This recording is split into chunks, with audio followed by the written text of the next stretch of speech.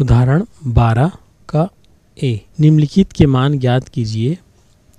Sign इकतीस अंश बटा दो कॉस उनसठ अंश।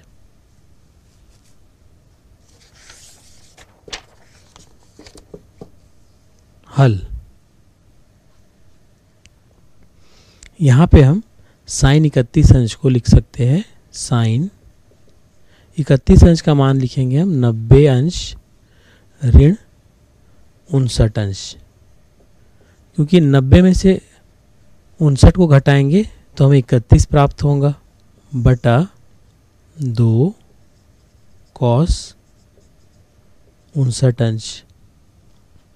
अब चूँकि हम जानते हैं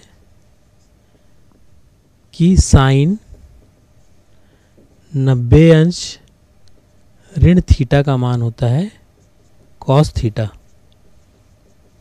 तो इसीलिए साइन नब्बे अंश ऋण उनसठ अंश जो है, वो कॉस उनसठ अंश बन जाएगा, बटा दो कॉस उनसठ अंश।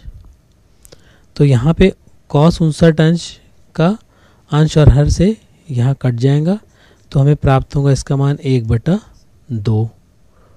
तो इस तरह से हमने दिए गए प्रश्न का, को हल करते हुए प्राप्त किया एक बटा दो या इस प्रश्न का या इस उदाहरण का हल होगा।